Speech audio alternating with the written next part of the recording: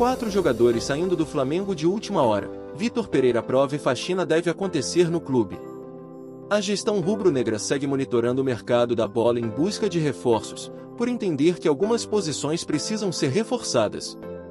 O Flamengo se prepara para estrear na Copa Libertadores da América na próxima quarta-feira, 5, diante do Alcas, às 19 horas, no estádio Chilogalo. O elenco rubro-negro conquistou um resultado positivo no jogo de ida do Campeonato Carioca, diante do Fluminense, quando conseguiu uma vantagem de dois gols, deixando a equipe próxima de conquistar o primeiro título na temporada.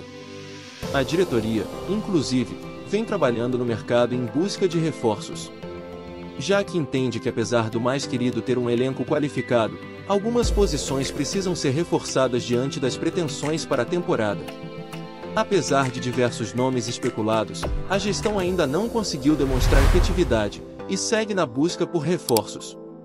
Entretanto, antes da chegada de reforços, a diretoria precisa definir o destino de jogadores do elenco rubro-negro que não vêm sendo utilizados como o caso do ponta-direita Marinho e do goleiro Hugo Souza, que com a falta de oportunidade na equipe principal devem ser negociados de maneira definitiva nessa temporada.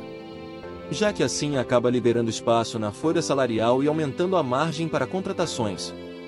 Além deles, algumas joias da base do mais querido devem ter o mesmo destino, como é o caso do zagueiro Cleiton Santana e do atacante Verton.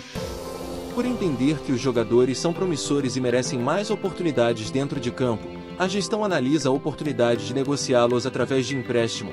O objetivo é a valorização dos jogadores focando em uma venda futura.